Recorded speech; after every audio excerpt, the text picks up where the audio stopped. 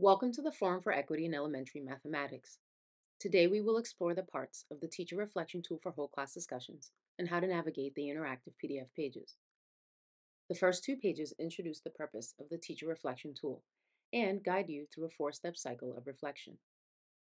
Pages 3 and 4 bring you to the first step of the cycle, selecting an area of focus. The questions provided are there to help you choose an area related to student participation to investigate. You can choose to focus on student participation, questions posed to students, or responses to student contributions. Once an area of focus is chosen, click on the link below. This will bring you to the Collecting Data, Reflecting, and Taking Action pages. Let's take a look at the features of the PDF.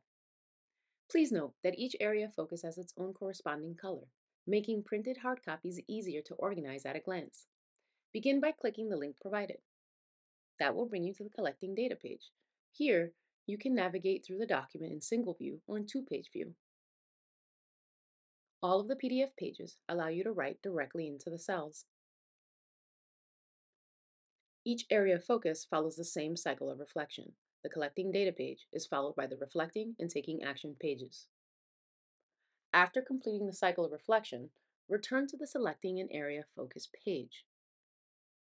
You can decide to repeat a cycle or choose a new area to focus on. We recommend repeating a cycle within the same area of focus to observe if any changes occurred to student participation as a result of actions taken.